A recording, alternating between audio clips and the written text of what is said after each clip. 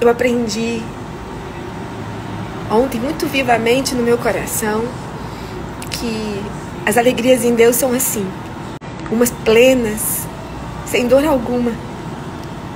E outras alegrias também doem, e doem bastante. Com o Padre Jonas eu aprendi. Aguenta firme, minha filha. E quantas vezes essa ordem desse homem de Deus ecoou no meu coração. Padre Jonas eu entendi o que é ser ou santo ou nada. Com esse servo amoroso de Deus, eu aprendi que meu lugar é o céu e que Jesus vai voltar. Obrigada, Monsenhor Jonas Abib, eterno Padre Jonas Abib.